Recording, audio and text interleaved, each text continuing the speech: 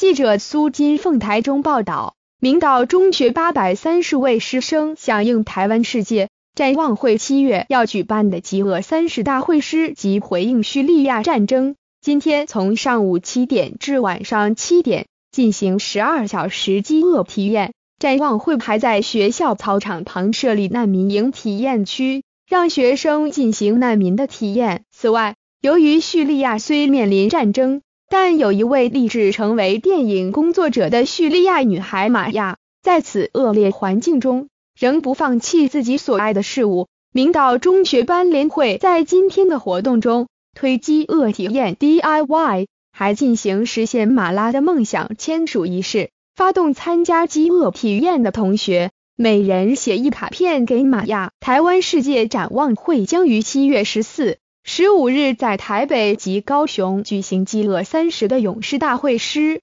目前有不少学校会先举行饥饿十二小时的体验。明道中学今日举办饥饿十二小时的体验，副校长陈兆华表示，明道中学举行师生饥饿体验已有十一年，他自己今年是首次参与，每年参与人数日益增加，去年参加有五百多人，今年增至八百多人。去年参加展望会举办的饥饿三十大会师有八十多人，但今年就增至一百五十人。目前明道中学参与的人数是中部最多的人数。今天活动除了饥饿体验，还有情境体验，如以气球模拟战争地区埋下的地雷，每走一步都有可能是难民人生的最后一步，因此走每一步要非常小心。学生都感受到步步惊心。此外，展望会还在操场旁设难民营，让学生体验打水、